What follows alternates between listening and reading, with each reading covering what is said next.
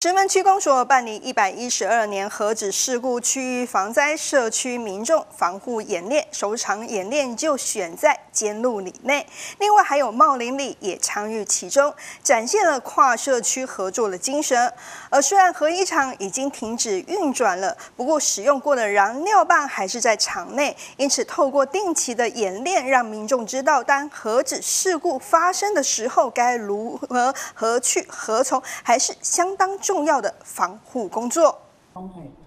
石门区公所办理一百一十二年核子事故区域防灾社区民众防护演练。首场演练由监路里主演之外，另外还有茂林里也参与其中，展现跨社区合作的精神。虽然核一厂已经停止运转，不过使用过的燃料棒仍然储存在场内，因此也透过定期的演练，让民众知道核子事故发生时该何去何从，还是相当重要的防护工作。啊，虽然除役了，但是因为他的燃料棒还在。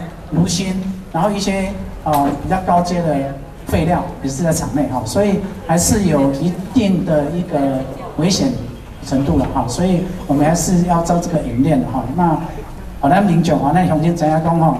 啊，真的哦，不受外泄，有一些 SOP 啊怎么做啊？那配合那你进步进去啊，咩让它掩护啊？怎么不用碘片？啊怎么疏散？啊疏散去哪里？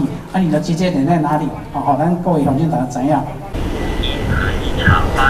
要可能会有十万而演练除了石门区公所之外，警察局、金沙分局、石门分驻所、消防局第六大队及石门义教分队、石门区卫生所等单位亦协助参与演练，让在地的民众体验核子事故发生时，了解各项核子防护行动启动的程序。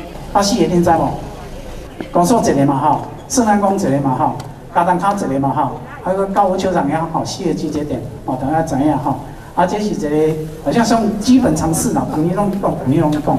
啊，一直讲一直讲，啊，大家印象就是深嘛，吼，啊，发生事故时，那怎样啊？要配合政府要安怎做？因为整套的一个 SOP。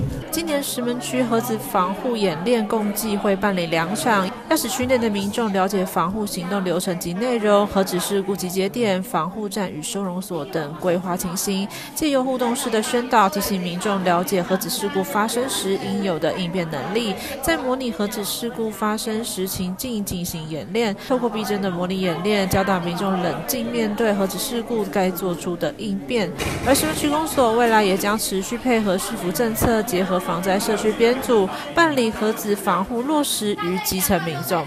记者平涵石门采访报道。